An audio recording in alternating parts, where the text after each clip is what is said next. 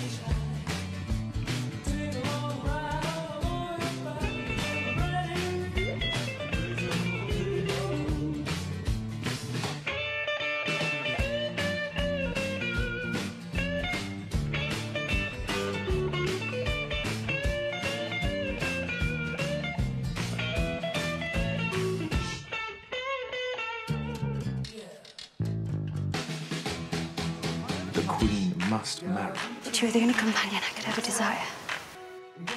Yes.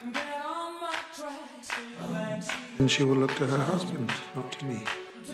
You were happy too. You know I wasn't.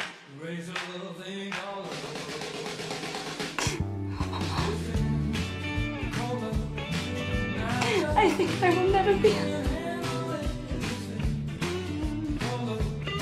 I don't want a stupid boy like Albert, Mama, or anyone else.